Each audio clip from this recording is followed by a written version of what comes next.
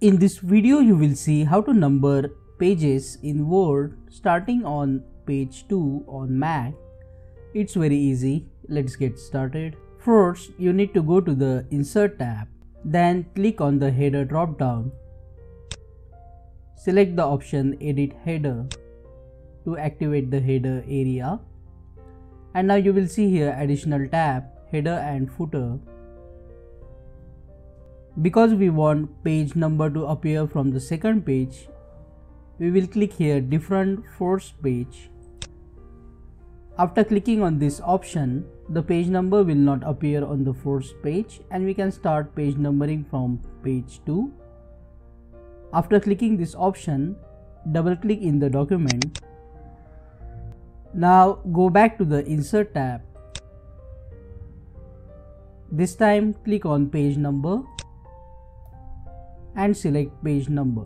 Now select the position, header or footer wherever you want.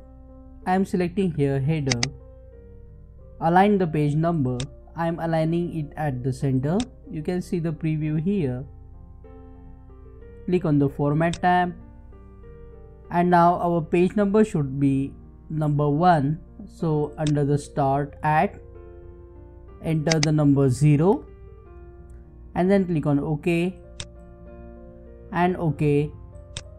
And now here is your page number 1 if you want to edit this page number 1 you can double click on the header region. Press command a to select the page number. Go back to the home tab and you can make it bold or you can increase the size of the page number if you want to.